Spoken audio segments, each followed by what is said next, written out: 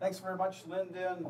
Uh, just want to say thanks to IBM. Where else can you come on um, a night like tonight and get a beer and learn about AI? So can we give those guys a hand? Like, all right. So tonight we're going to introduce this concept of uh, automated machine learning. How many people have heard of AutoML in the room? Oh, too many. That's good. Oh, that's a lot. How many data scientists in the room? Bonafide, registered? I, don't think it's registered. All right, so so this is uh, we're very excited to be here. The last time we tried to come, there was 41 centimeters of snow that night. Um, so this time we didn't let the snow get in the way. So just a little bit about us. Uh, was founded in 2007 uh, because we're in Calgary. Of course, oil and gas is one of our specialties. We have worked with power generation utilities. We've worked in finance. We've even done sports and entertainment because they have a lot of data, right? Um, we've got about 100 clients. Uh, what we're building as a team internally is what we call data analytics, analytics specialists. So we don't use the term necessarily data science, but it's certainly part of our framework and it's certainly part of our offering. So um, the whole goal is to enable our customers with you know the self-serve BI and analytics and uh, we work with a number of partners, uh, vendor partners. You're going to meet one today, and uh, a lot of them were sitting under advisory councils. So we're connected at the highest levels with these guys. So it's really it's really awesome. The you know our whole goal is how do we take advantage of this exponential growth of information? Um, and I don't know if you guys heard, but everything we know today, in 13 months, will double. Right? That's the knowledge of mankind in the next 13 months is going to double. Um, so what we have, this is our IP, and if you can, it's almost like a recipe for machine learning and uh, artificial intelligence in some ways. And we talk about information capabilities, not so much about products, but if you read this, like everybody's doing data prep, it doesn't matter whether you're uh, using a spreadsheet, uh, whatever it is, somebody's doing data prep. Uh, data wrangling is certainly a, a capability as well that probably would fit in there. But really, with a lot of our customers that are on this digital transformation uh, journey, and you can see this is our framework synapses for digital transformation, visualization and analyzing the data is, uh, you know, is usually that single pane of glass. And then one of the other capabilities you see is data virtualization. I'm going to show you a reference architecture in a minute here. I'm going to spend a lot of time on it. But Diarize is really the master data. Like, what do we do with master data today, right? Uh, from the perspective of, is it master data management? Is it just-in-time master data management? And then structuralize. I heard a question about uh, pulling in PDFs and Word documents, that type of thing, into your analysis. So one thing that we've learned about AI, if you want to train the models, basically you've got to have the content. Like you've got to have a lot of data. Well, the more data you have, the better, but it's got to be of high quality as well. And 20% of your information actually lives in a structured database. 80% of it actually lives in content. I don't know how many of you do that, but uh, and really structured data answers one question, which is what, and the why and the how comes from the unstructured data. So anyway, and by the way, I'm just warming up so that uh, Niaz is going to fill you in on all the details here in a minute. But, um, so let's look at 2018 because it's almost over. But that's all the vendors in the big data AI landscape. So I don't know if anybody, many people seen how many people are, or how many vendors are in here? Uh, it's crazy. It's absolutely crazy. So here you are, you're learning something new called, uh, well, some of us are on the journey for a little while around big data AI. And you know, this is the simple things that you need to know. So here's all your options that you have to use. And I bring it up because how do you distill this down? How do you simplify this complexity? And one of the cool slides that I see um, that I really like because it kind of breaks it down into silos. It breaks it down into categories. And you can see this from left to right. You can see where big data fits. You can see where your traditional data fits. Um, you know, when you get into Hadoop, all the different capabilities around that. Um, you know, all the new languages that you have to learn, even like ETL, CDC, Sqoop. Anybody using Sqoop? And then and for a one Sqoop user, two, awesome. And then of course data virtualization, which is very very key. And uh, we could give another talk on data virtualization, but that wouldn't be at this one. But uh, certainly it's critical. I think digital transformation means that you have to be able to get across all your digital assets. It's very hard to do digital transformation if you're just talking in silos.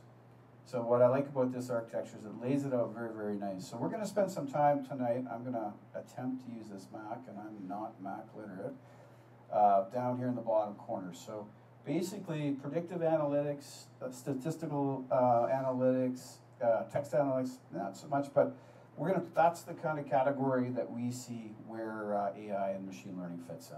Okay. So um, just one slide. I have one slide to talk about why DataRobot, and that's who you're going to hear from today. Um, anybody in here familiar with Kaggle, the data science competition? Anybody ever participate in Kaggle? Oh, a couple. Hey, that's cool. So uh, basically, DataRobot, and why we've, you know, one of the offerings that we have around them. What's very, very neat about it is data science itself is actually being disrupted. I'll use the disruption word. Because what's happening is software companies now are in, you know, encapsulating algorithms, um, knowledge of the algorithms, use of the algorithms in software. So um, what would you say if I asked you, what would be the average number of algorithms that a data scientist would know? 10. 10? Yeah, let's say 10. So what if you could run 100? What if you could run 200? What if you could run 300? Right? I mean, algorithms have been around since the 50s. What these guys have done is they put together some software automation, and you'll see it tonight. We're going to show you a demo right after Niaz uh, takes you through her presentation. But the cool thing about this is every single one of these guys that you see up here on the top is actually competed in Kaggle. So the top 80 data scientists in the world started this company called Data DataRobot. How did they know they were the top 80? Because they competed in all the competitions. So that to me is, is pretty cool. And then from the perspective of what they're using and the technology uh, and how they've encapsulated, they're into their fourth round of financing now. So they're, the company's pretty, pretty new. But for people that are just trying to demystify AI and machine learning, it's a good offering. It's a great way to start to filter out some of the noise and actually get to, to uh, the actual uh, signal, right? So that's what we're going to show you tonight. But before we do that, I'm going to pass this over to Niaz, and she's got a few slides she's going to take you through. You want to just leave it there? No, yeah, it's better. Okay. Thank you. Hi, could you hear me? It's good? Okay. So, um, I'd like to walk you through the kind of some of the benefits of AI and why we want to talk about the data robot, which is a platform to automate the machine learning process. And I walk you through briefly in the whole machine learning uh, life cycle and what data robot does to expedite the process. So this kind of a slide overview is some statistics from IDC that shows the businesses in the faster growing regions and industries, they already receiving the benefits of using AI and uh, that shows increase the productivity. It could be the higher level of the automation or discovering the insights that perhaps it wasn't possible before. So in terms of the financial aspect of it, if we look at the AI five years compound annual growth rate, which it describes the average growth per over a period of time, it shows 74, uh, 74% for Japan, um, uh, forecasted for 2021 with respect to 2016, which shows the country with the highest uh, forecasted growth using AI in their you know, industries and everything they do. And in terms of, if we look at the industries, we expect that financial, banking, financial services, and insurance, they're going to invest most in this area, which I, I don't think we're all surprised to hear that. And so definitely this is a direction that company they want to go, but we have to also acknowledge the challenges and barriers that we have, which there are, you know, there are good challenges. We have in the top kind of, uh, if we want to identify the top barriers, it's definitely the lack of data or too much data or, you know, the skill set, the challenges with the stakeholders to invest in this type of uh, solution because of the, we all hear about the risk associated with the high cost associated.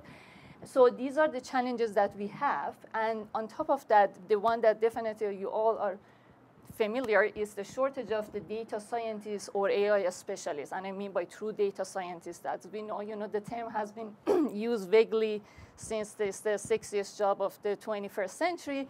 So it's, we know that it's not easy to find, you know, good data scientists.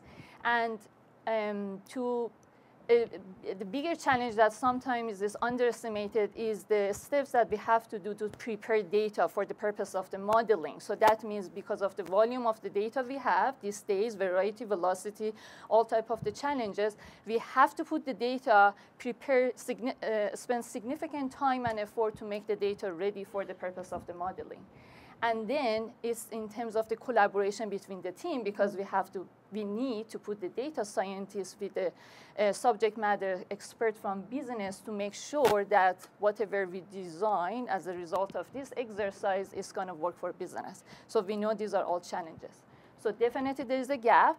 We can see the demand for predictive modeling, machine learning, AI is increasing significantly, but we don't have enough data scientists to demand to make it happen.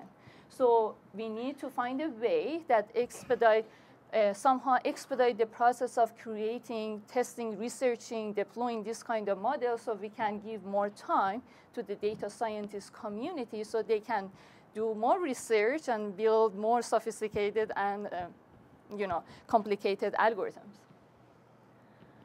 So that's why we are lo looking at the automated machine learning. And in here, we talk about data robot uh, because now company, they want to be AI-driven, ML AI-driven organization for a good reason, because if they don't, the competitor, they're going to get ahead.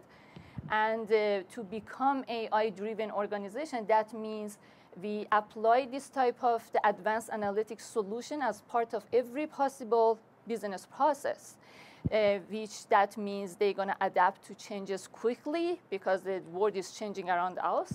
And then um, it also become kind of like a self-optimized to predict the future.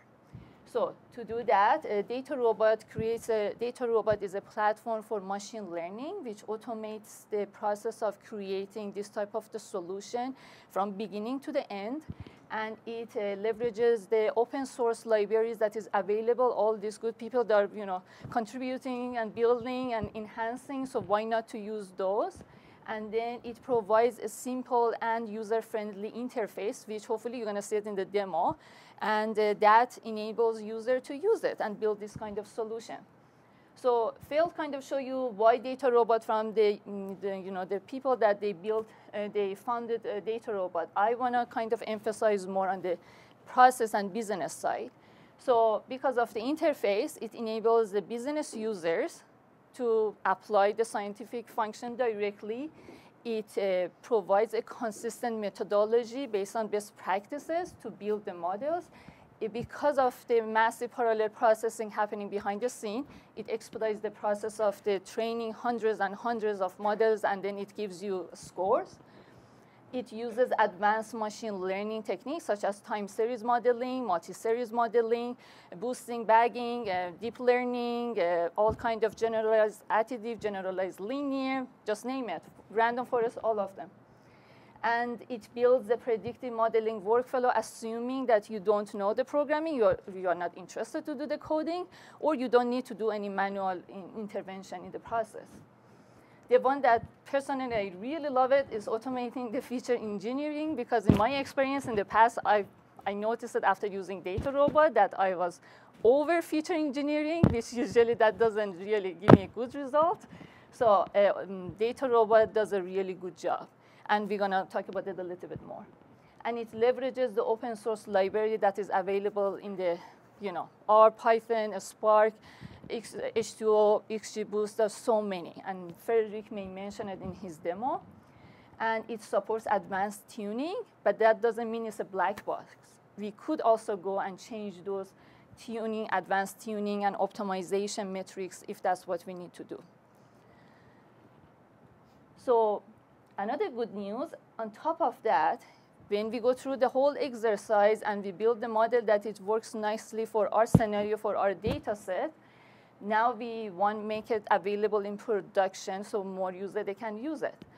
so that uh, data robot also expedite that step by creating, we can use data robot or a platform. Uh, we can put it on the premise or in the cloud. There are different techniques. We're going to talk about it briefly. It leverages the parallel processing because of the uh, infrastructure behind the scene.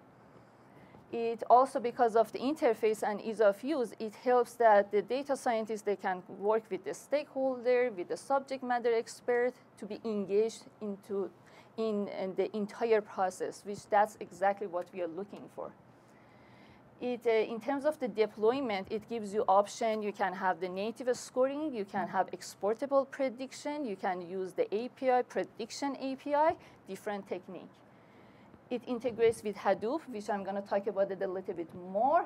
And it works with a variety of the enterprise data that could reside in the RDBMS, Hadoop cluster, SAS, Alteryx, different type of technology. And another thing that I like about it is not black box. It gives you enough chart and scores and documentation and the method of explaining the result of the models. It's not just, okay, this is what it is, the score, take it and you know, use it. You can go and interpret the result of those models. So you can make a decision that which one works best for your scenario. And also it supports advanced security in terms of authorization for the fine-grained security, role-level security, and in terms of authentication, it leverages the LDAP security and uh, also Kerberos. Any questions so far? Am I going too fast? Too slow? Good? Both. So the question is, is it only the data ingested? It does both. So you load the data, and we're going to talk about that a little bit more, and you're going to see it in demo, hopefully. Uh, but uh, the idea is you load the data. So I can talk about it, and then you let me know if you still have questions. So data robot automates every step in the machine learning process, and this is the high-level kind of a step. We all know we spend significant time for the data profiling because we want to know more about our data. Uh, feature engineering, I kind of mentioned it briefly, and we're going to talk about it more. Model training. So most of the tools in the market, as far as I know, they may just you know, automate one or a couple of them. Data robot goes, and if I'm not mistaken, and Frederick can, Frederick can correct me, uh, it looks at now over 850 million algorithms that is available from the open source library and that has been trained and used by Data Robot. So it's increasing on a daily basis. And it goes through that process and it gives you the result and a scoring and optimization metric and you can look at it after it goes through the validation and cross-validation. And then we select a model that it fits for our scenario. And I'm going to talk about that, why I emphasize on that and then we do the model deployment. So as you can see, it's a rapid prototyping and faster way to expedite the entire process. So I mentioned it integrates with Hadoop nicely. That means it's a light footprint. It doesn't require any uh, long-running processes running on the data nodes. It uh, fits on a, any standard uh, Hadoop spec commodity hardware. It leverages the HDFS for the storage. So if we have the data already stored on the HDFS, we can use it also to save the result of the models and you know other things. It used the Yarn uh, container for loading the test plans and all the workload that is happening in parallel behind the scene. It used the native administration. Let's say in case of the Cloudera, we could use Cloudera Manager or Zookeeper. And it, as I mentioned, the open source machine learning libraries are Python, you know, all those good ones that you know it. And it uses Apache Spark to expedite the whole parallel processing and in-memory in computation. So those are the machine learning lifecycle, which I'd like you to briefly go through each step, and I say when, how data robot expedites those steps. So this is the one that typically we have to do. I, I'm hoping everybody does it. So we specify the business problem using business language, not the modeling language, and we want to be specific in terms of what's going to be the outcome of, outcome of this exercise. So if we get as much as we could get more specific, that's going to help us to measure our success better. And, we, and in this process, definitely we want to use the subject matter expert to make that call. And then we decide that what's the granularity of the data that we need to use for the purpose of that business objective. Let's say if I use the retail use case, we have a row that it has the store ID, customer ID, date, it has the purchase amount, and it has the number of items. So in this case, the purchase amount could, for me could be the prediction target. So something that I put in data robot I want to predict. This is very important, I emphasize. We want to prioritize what are the criteria that is important for us. Is it performance? Is it the speed, accuracy, familiarity, ease of use? We need to make that call because at the end we want to make sure that how we say this exercise has been successful. If we don't define those things, it's going to get very complicated. And typically, usually we uh, start considering the risk, the time, cost, all those good things, and what could define as successful. So a data robot helps us to mitigate the risk, reduce the risk, and expedite the process. So it's not going to be that much you know, time consuming or expensive. So that's why it expedites this step of the process. So then we can decide that we want to continue then that's when we're going to get our hands dirty. We need to find the data set that we need for the purpose of the modeling. That could be public, internal, external data. We go through the uh, lovely practice of the data, uh, the step of the data integration. When we want to load the data into the data robot, we load it as a one single table. So definitely the data integration now is even more important. How we do that part properly to put everything in one single table to load it into data robot. So now you ask the question what it does with the data? So uh, when we load the data, it goes through the exploratory data analysis, EDA 1 and EDA 2, and it gives us good statistic and information about the uh, columns, attributes, column type, missing values, outlier. And another thing that it does a lovely job is finding the target leakage. So those are the ones that we are not supposed to have in our data sets. That's when the outcome is hidden inside the input variable. So it finds those, and we can get rid of it, because otherwise we're going to end up with the unrealistically good prediction, which we don't want to have it. It's dangerous.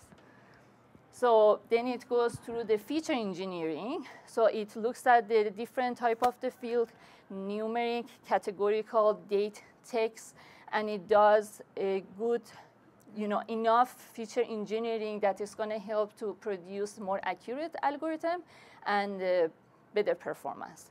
So for example, it creates the day of week from the date column or the age column from the year column. It does uh, one hot coding, encoding, counter encoding, um, uh, imputation missing, all those techniques, and are more derived feature. It doesn't do aggregation, but it gives you all the feature engineering that we need. So after it goes through this exercise, we define, okay, this is a value that I want to predict. And then we have the selection of the model. We can use the autopilot or quick or a manual. So when, if you select autopilot, it goes through the process and it goes, tries to find algorithms that uh, fits best for our data set and our target, you know, in terms of, you know, the column, the value, the type, it finds those algorithms from all the open source library and it starts building the models. And then it starts doing the validation and going through the cross validation so it provides us the scores the optimization metrics and all the other information we're going to look at it. So it doesn't just look at for example linear and logistic because we know there are definite limitation with these techniques decision tree could be a good one that it could be used um, for the case of the, un, you know, to um, overcome the challenge of underfitting and overfitting. It looks at, for example, the random forest, which you are all familiar, familiar, so I don't have to explain. So it goes through those, and it gives us the list of the model on the top with all the scores. So we can see, for example, the top 10, top 20, and also it does blending. So it and decide how to blend some of those models to get a better result. And also we could do our own blending. So then we get to the point that we have all this information, chart, the scores, documents, the blueprint of the models, the whole thing, so we can start interpreting and understanding what, has, what is happening, and then which one is going to work best for our business objective and the criteria that we defined from in the beginning, in the first step. So we could use confusion matrix to evaluate the performance, for example, the lift chart, which shows the actual versus predicted value, or the, for the binary target, we could look at the ROC curve. And these are more. So let's say I have top 10 models. I am kind of, you know, like the scoring happening here. Then I can start comparing those models against each other.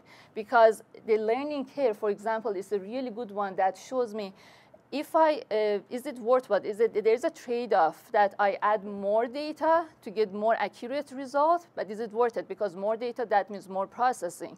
And it's gonna be expensive in terms of the resource, RAM, CPU, but part of the processing, the whole thing happening behind the scene. So we have to make that decision. Do we want to do that? So we add, provide more data. Or we can compare the speed versus accuracy. And then maybe I narrow down my list uh, from 10 to 5, and then I start comparing two models at a time, looking at the dual lift, lift, and ROC curve. Depends on the target prediction, and prediction target. And then I can decide which one works best. And don't forget to look at the feature impact, because that's going to show, for example, for a given column, um, how how worse the score could be if that column is going to get shuffled randomly in the data set. So it's going to give you a good information for that. And then it depends on the data set, depends on the use case, it could give you more information. So I can use all this technique for the interpretation and, and decide which one is going to work best. So the last step, after I decide, okay, this model works better for my scenario, with respect to my business objectives, then we can um, use different technique to make it available and deploy to the production. So um, DataRobot provides different way. DataRobot Prime, we can use the, just go and export it, and then you can uh, even load your new data set, goes through that model that you selected, and it gives you the prediction. Uh, we can use the different uh, prediction API, REST, and um, um, uh, R, Python, they're all available. We can use it but it doesn't matter which way you choose. We have to, it's recommended that we have to document the whole process. That means the data sources, the process we took it. If we have done anything manual in terms of the advanced tuning, in terms of we build any, any model manually, we adjust the scoring, we change the per, uh, optimization metric, we have, to mod, we have to document that for the purpose of the reproducing the process again then it's 100%, 200% is recommended to do the active monitoring because we want to make sure that the model is going to produce the result that we are expecting. Things is going to change, new data set, new data format, a new uh, uh, format, and then, all the business rules is going to change. So as soon as that happens, that means we have to go retrain the model and redeploy. So DataRobot provides, if we use the DataRobot uh, management console, if I didn't get the name wrong. So that one, it provides a central point to monitor all the deployed model in production. So you can see all of them and you can um, define wh what happened, you know, depends on the case. We can uh, look at it and get our attention that we need to go and retrain that model and redeploy. So that's gonna help us to make sure that we provide a good performance for all the deployed model over time. Okay, that was my last slide.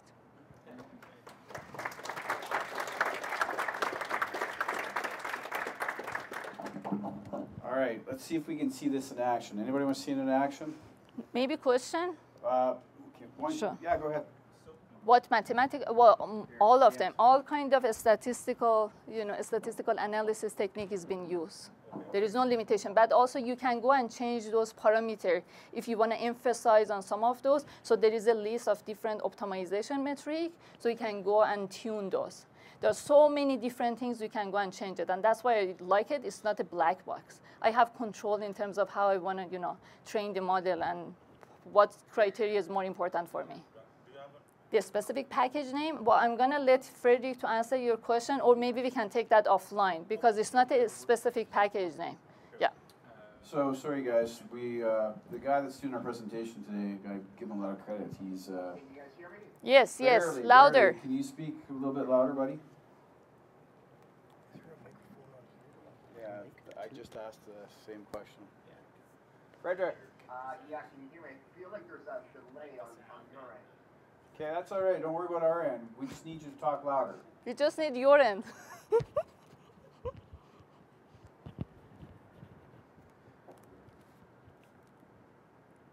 Okay. Uh, is, is, is this good? Louder. oh. Can you go louder, Frederick? Almost feel like I gotta come up here and. Hey, try again. I don't think that works. Uh, unfortunately, guys, I have a baby upstairs. so I can't do it loud. Do you have a basement? Oh, come on. No, no, no it's I'm good. kidding. I'm kidding, Frederick. Can you guys hear? Like, move closer if you can't hear, right? And if you want to see this, I, I encourage you, come on up. Okay, so as best you can, Freddie. Hey, Phil, let me try to uh, dial in. All right, let's see. I think that's a good idea. Sure. It could- Repeat the question. So you're asking who could be the end user of this kind of uh, platform, correct? So it could be mostly the business users that they're going to ask because you know they may not have time to do the programming and coding. Excuse me. And also the data scientists. Even, you know, it saves time for the data scientists in the organization to use this kind of platform so then they can have more time to do research for the cases that you know is very specific for their uh, objective and no the feature engineering Yeah, we can hear you, Freddie.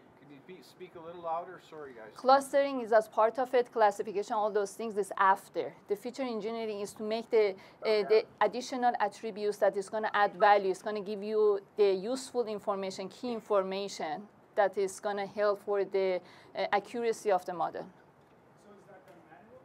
No, no, it doesn't automate. It automates it. However, when you do the data integration, you still you could do your own feature engineering if that's what you want to do. It doesn't stop you. But when you load the data, and we say raw data, then it uh, start looking at if there are more feature engineering that can be done.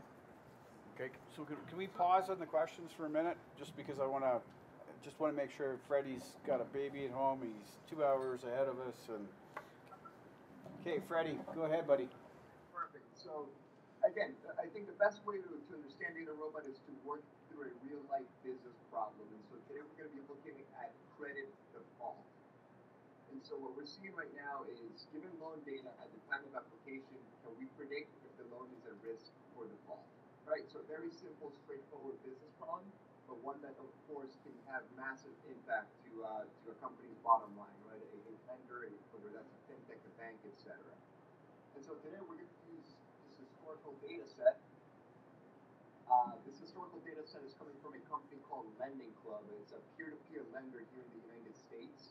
And the whole idea is for someone to go online and submit a uh, or apply for a loan. Uh, I think up to forty thousand dollars. And so here we have a historical data set. This historical data set has different variables, uh, categorical variables, numeric variables, even unstructured text data. So for example, look at the employment title. This is actually free-form text, right?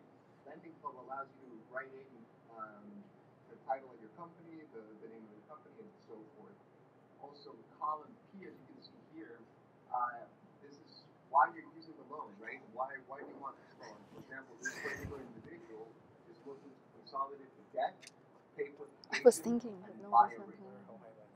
It doesn't go. All of these, um, all of these variables, right? These predictors, uh, to be able to predict the future. Course, we'll need a historical target to train these models on, and that would be column A, and it's titled "Is Bad." This is a binary classification problem: zero for no, one for yes. Okay. All right. So now, once once we have this data set in this tabular format, right, rows and columns. Again, each row here corresponds to a loan application. Each column here, and each column is different characteristics associated with that loan.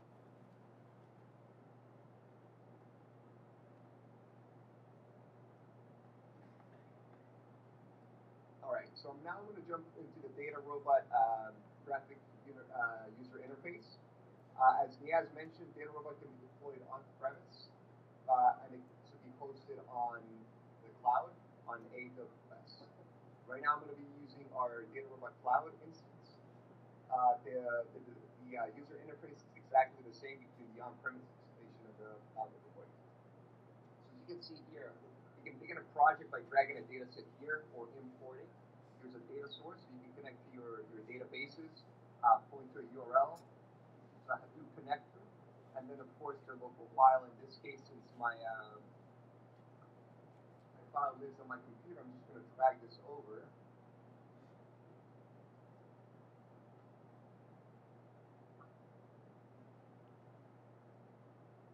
So I'm going to upload it.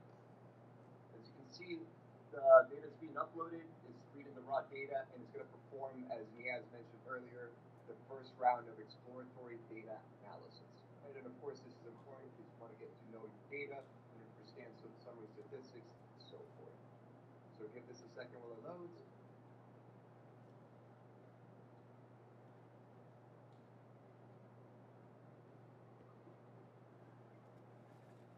All right.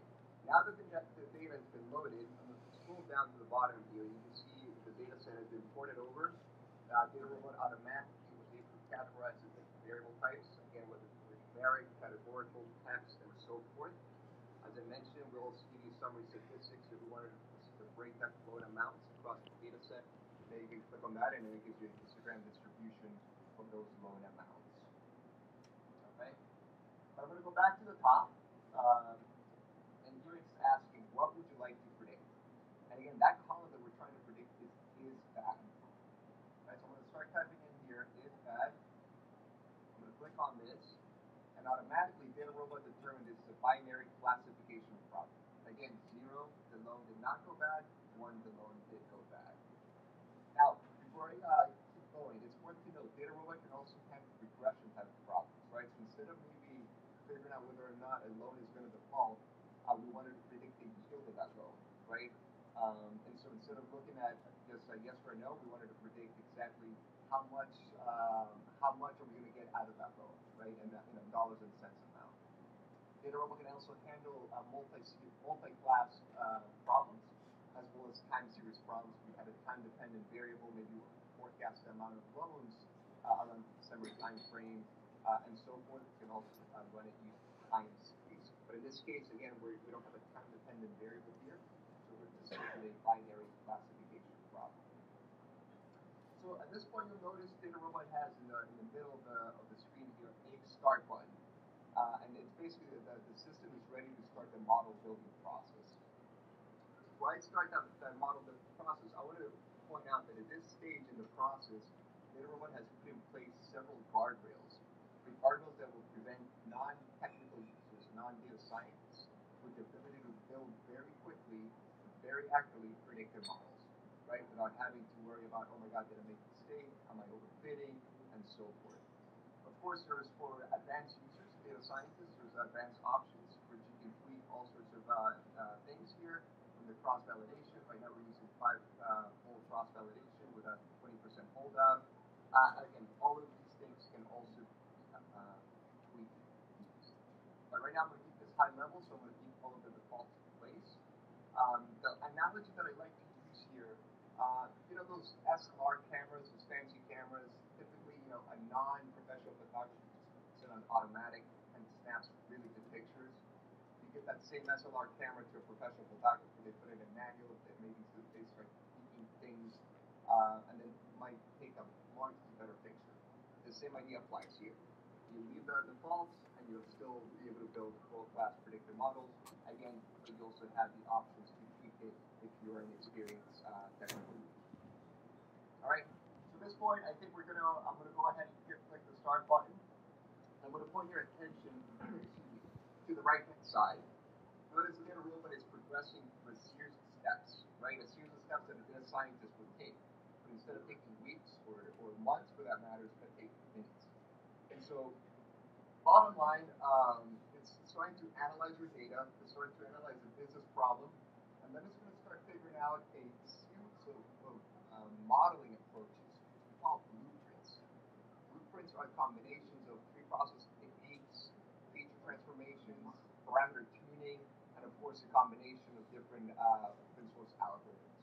So right now, Data Robot is going to take about 40 different blueprints and it's going to test them against each other. It's going to compete in a survival of the fittest type of competition. And so let me uh, make this a little bigger so you guys can see. So notice in the queue right now, we have 38 models um, in the queue. These models are coming from different open source libraries. Right now, you can see this one is coming, for example, from Python libraries. Uh, we're going to have libraries from R. We're going to have libraries, data, this uh, robot icon is data robot for planetary models. Uh, we're going to have some from uh, TensorFlow, XGBoost, and so forth. The whole idea is to test out a whole bunch of different uh, techniques uh, to be able to bubble up the best possible predictive model for your specific problem and your specific. You'll notice here right now we have two models being built in parallel. Right? One is a Eureqa model, the other one is a random forest classifier. Notice at the top here uh, it says workers, I'm using two of 20 total modeling workers. Think of worker as a quote unquote virtual data scientist. Right? This is a compute power. This is a virtual machine uh, that is going to be uh, that is going to allow you to build models. So right now we're building two in parallel, but this up all the way to 20 since that's my uh, my account has access to 20 modeling workers. So what that's allowed me to do is run 20 models in parallel. So of course it's going to expedite the process of building these models, competing against each other, and so forth. So I'm actually going to, like a cookie show, I'm going to go uh, to a completed project. Notice right now we built around 23 models, right? So this is the model that we're working and are the models that we built. Notice that they're constantly changing, right? This is a dynamic leaderboard.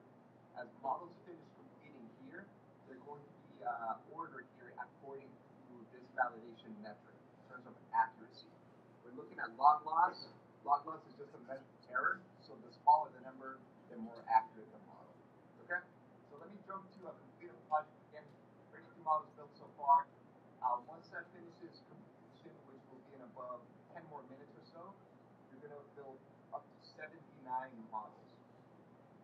Once the model building process is done, Data Robot is automatically going to ensemble the top performing models. So you'll notice that the, the ensemble models right here. This is uh, ENet Blender, so forth. Data Robot will also automatically give you, um, you know, tags as this is the most accurate model, right? And if I scroll down, these are all the models again that Data Robot built and all um, ranked order in terms of accuracy. So notice right now, Data Robot is saying that this particular model, this extreme gradient trees model, is not only uh, accurate, but it's also fast. So let's take a look at that in, in, in a bit more uh, detail. So I'm going to click on this model here, and this is going to open up what we call the model approach, right? This is a model approach, and this is dynamic. This is the, basically the brains of Data Robot. So Data Robot is telling you, here's the pipeline, right? The recipe that we use from data, uh, from the data ingestion all the way to prediction. So here's what it did to the categorical variable, the pre-processing techniques that it used, as well as the uh, specific algorithm. So for example, if I didn't know what ordinal encoding of categorical variables was, I can click on that, and I would get a, give, I get a, uh, a short description. I can go to the model documentation, and now that's going to open up to more information on that specific ordinal encoding of variables. Okay? And the same I can do with the, with the, um, with the algorithm. For example, if I didn't know too much about this gradient boosted trees, again, I can click the model documentation. I can read all about this specific algorithm, including the parameters, summarize what he's done here, kind of. These external documentation, I summarize. and of course the academic, academic Yeah. reasons that uh, document. That was my presentation. Okay, so that's the model blueprint. Uh, what I want to highlight too, all Models the that ran model at one blueprints are time. different. They're dynamic. This model blueprint was never pres- exist again, right? This model blueprint was Really good. on the fly based on your specific business problem and the data set that you gave the system. So for example, let's say we want to look at, let's see what this one looks like. This last net classifier. This is a different recipe, right? And all of these models are going to have different recipes. Look at this one, it's very simple. Gradient distribution system. Right? So again, let's with the the ones we looked at before. And we'll do a little bit more digging into this. So literal, once you're looking at the models, of course, the value of the performance. right? So we're gonna go to evaluate tab, and here's a standard lift chart. I'm sure many of you in the room are lift charts. Again, we're taking uh, range of predictions and bucketizing them. In this case, in deciles, and we want to track the predictor versus actual across a range. But of course, with a lift chart, we want to make sure the model is, um, you know, separating, you know, the, the low likelihood of the fault with the high likelihood of the fault, right? So again, the standard lift chart, of course, the ROC curve that he has pointed out earlier with the confusion matrix and so forth. Um, but let me go into the understand tab here. We want to understand the model, right? And so when I go to the understand toolset here, the first thing that opens up is this feature impact. So feature impact is showing you the variables in your data set that have the greatest control performance, right, or the accuracy of this specific model. So you can see, in other words, what are the most predictive features in the data set, right, as it relates to this specific model. So you can see annual income plays a big role. Description, right, that was a text field, right, that was a free-form text. The description of why you're going to be using the development is incredibly important to the prediction uh, that this model is going to generate. The interest rate, the title, again, another uh, free-form text, the term, and so forth. Right, so now you've identified all the different um, uh, features that are important to this uh. And of course, from there, um, you can go now into what is called prediction explanations. So prediction explanations, um, step back here. So feature impact is at high level, right? Now we know the, the levers that are affecting the predictions. But if I go to prediction explanations, the key here is that it's going to allow me to look at a very granular level. In fact, at the individual record level, not only the prediction, but also the reasons why the model scored that prediction the way it did. Right? So it's essentially opening up that black box so that now you understand what levers are affecting the outcomes. And of course, it's important because if you understand what levers are affecting the outcomes and those levers are at your disposal, right? You can change those, those uh, levers, then you can change that outcome in your favor. Right? So, for example, um, record ID 6257 has an 86% of defaulting.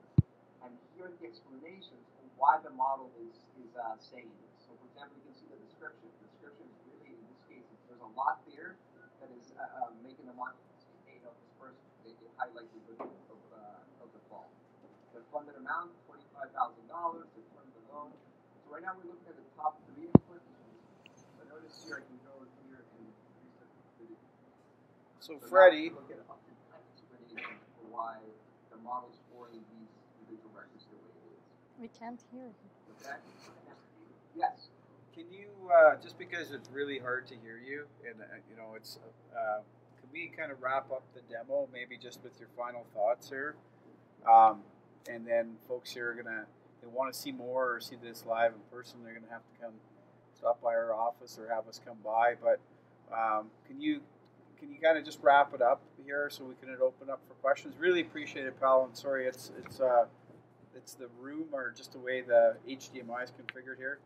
Um, we, I think half the room can hear you, but uh, I don't want to spend too much more time because not everybody can. Yeah, sure. Okay, per- perfect. So I'll, I'll wrap up here. The last thing, so once we build, build all these predictive models, of course, we need to operationalize these models, right? And so operationalizing models is typically a very difficult process. Uh, Data Robot makes it very easy because each model publishes a REST API endpoint. So it allows you to uh, essentially uh, three lines of code and copy paste to your enterprise applications, your front end system, and you can consume those predictions. Uh, something, uh, you know, just to give you an example of what that could look like. Here's a, a front end system. This could be a credit risk officer trying to figure out if you're going to uh, give a loan. I can create a quick record. I'm going to use average values for the for, for safe time. And what this is going to do is going to pull the uh, that specific model, and it's going to get uh, a prediction. In this case, this specific individual has a 38% chance of, of default. Here are the reasons why, the, the factors against that person, in favor of that person. So again, this gives you a feel for how you can productionalize a model very, very quickly. So I'll leave it there. Again, Phil, to your point, if anyone wants to take a much deeper dive, they can uh, contact you, and of course, we can arrange for uh, a deep, deeper dive demonstration um, uh, at a Awesome. Thank you very much, Freddie. Really appreciate it. Sorry, guys, I don't know how much you could hear of that, but uh, maybe what we'll do, um, Niaz can maybe recap, and we'll open it up for questions now. Uh, Freddie's, like I said, it's probably almost 10 o'clock where he is, so appreciate him joining us tonight. Uh, but why don't we open it up for questions if that's okay? So those are, you know, different techniques, different type of the visualization. For example, the lift chart, we just look at the actual versus predicted value. Oh, you mean in that reason, the one that it was showing? So those are the one that it's good to know that which one it contributes more for the prediction. So it's good to know the high end and low end. And that's after the model is trained, is based on the result, it's gonna give you, and you can select, show me the top, you know, three or top 10 so then it gives you, then you have a much better idea in terms of which range of the value is causing that prediction, you know, happens, or this model behaves this way. And then it, for example, is going to be some data quality issues or other things that also helps to put some, uh, you know, process around that because of those values. I can get you more information because every version they keep adding and changing the way it calculates those, you know, the reasoning code and other things. So if you want it, uh, I can look at the documentation because they keep in enhancing. Yeah. Correct. Correct. The good thing with the data robot, it comes with a really good help. So as soon as you go, if from there you can click and then it takes you to the explaining behind that, okay, what type of the packages or what techniques use and it keeps up they keep up to date dating changing those uh, you know material as they enhance the every version. Yeah. Well actually i tried for for what my use case you know i use the data for the production. oh sorry repeating the question. So the question is uh, is there any way to uh, to kind of compare the result of the data robot with other tools? And also in terms of the is there limitation in terms of the use cases? So i tested when i started i had like a data set for the production volume and i just put it you know i had my own work and i put it through data robot and I got a better result from data robot. So that one I tested and it was because of the way I did some of the feature engineering that, you know, it kind of uh, make me more cautious about some of the way I've been doing it. Um, in terms of the data set, like in a previous version, they didn't have time series. So they just added the time series. So they keep enhancing. Or we had a use case we weren't sure for the LiDAR data, you know, all the data for the images that you can identify is it low vegetable, you know, low vegetable, you know, high water, you know, roof, other things. And we didn't think it's going to do it because the limitation was for the multi-classification was only 10. So I had to get rid of some of them. Um, but it, uh, it, it, still, the accuracy was really good. Like, I wasn't sure. I just gave it a try to see how it works, and it worked. And now they even um, took that limitation. So it's not 10, you know, multi-classes anymore. So you can even go further. So they keep enhancing some of the things based on the feedback they receive from the data scientists and the, you know, the community they use data robots. Because you know, it's not definitely perfect for every use case. It's going to be some use cases we are going to see some limitation, but they keep working and updating. Like now they're version 4.2 or something, if I'm not mistaken. So I did that testing. So if I had this model that with combination of different algorithms and it works nicely, if there is no specific change on the data set, the data for data type, you know, some new addition, other things, still I'm gonna get pretty consistent result, but as soon as there is any change, I have to go and retrain it. And usually that's what I do. I go retrain it, yeah.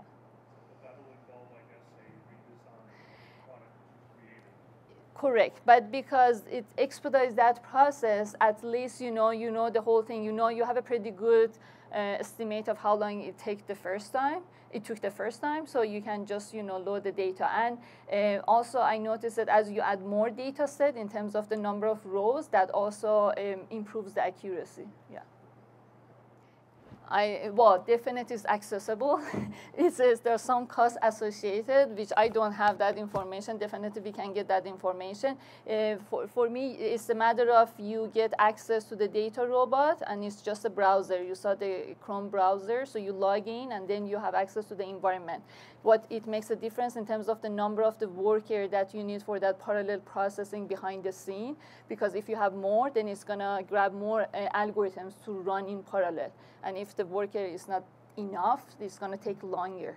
So that makes a difference. So from the accessibility and licensing perspective, so Data Robot comes in a couple of different flavors. Like what you saw here today was, uh, it was a cloud offering. So you can get an offering uh, for so many workers for a cloud um, for a set price. It also runs uh, standalone though, and it will run in massive parallel processing on Hadoop. So you can actually, so one of the things that Niaz talked about, uh, there is a, s- there is a data robot for Hadoop as well. So there's a couple different things. If you have more questions on that, happy to happy to take them. We'll take it offline. All right, Yeah. sounds good. Gentlemen here in the, in the front. So the question is, when we load the data, is it going to give us any feedback in terms of the quality of the data? Yes, it does to some level. However, we, because I'm picky in terms of the data integration, usually I try to do that before I load the data. However, it, if you have duplicate columns or missing values or uh, outliers or you know something, you can see the format, it doesn't make sense like it's date, but th- there are some data quality issue, it's going to highlight it, yeah. Yeah and it's going to show you that you have to get rid of that. So it gives you some messages. Yeah. Okay. Yes, you have option. So the question is, if you already deployed the model and you are happy with it, and year after, usually doesn't happen. It's a couple of even weeks after. Year after you come back and you want to kind of retrain the same model, you don't want to end up with another model. Yes, you can use the manual option. So I mentioned the modeling mode is a autopilot and quick and mm, uh, manual. So you have that control that you can exactly you, you have you can have full control in terms of which one you want.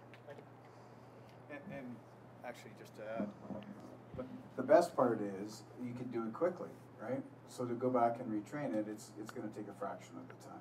And there was a question earlier just on the who are the users of Data Robot, and one of the slides that I've seen is this is where we start talking about the rise of the citizen data scientist as well. Because what we've done is, or what the product's done is it's encapsulated all the sophistication around data science into a platform that somebody that's, you know, a business user that understands the data can actually leverage as well, which is super cool. Because there is that gap between all the data science work that needs to happen and the people that can actually do it. So, okay, question over there. So they, you know, you remember I mentioned about the documenting the process. So uh, the data robot provides you a checklist of the documents that they suggest that you do that work because of the for you know same reason. You know, in terms of the versioning and other things. Most of the time, you may do some manual, you know, cha- changing middle of the, you know, the process, or you know, you stop something and you change something and let it run again. So you need to capture all of those so you can reproduce. And uh, um, in terms of the specific version controlling, I have to look at it. I think now they added. It wasn't in the version that I used it, but I, I, I, I read it somewhere. I have to verify, and I can ask Frederick, so we can give you more information about that. I mean, is it based or? Yeah, you can you can have different. Yeah, they provide different. okay, so one more question, the gentleman over there in the blue sweater. Yes, yeah. it is a scary. Yes, that's true. Yeah, no, and, and that's a great question. I mean, I actually, I think it's the inverse of that. I think it's some, we're taking something that's super complex and a lot to it and a lot of knowledge. Um, you know, m- very, very smart people in this room tonight know about math, statistics, know about data science, all the techniques, R, Python.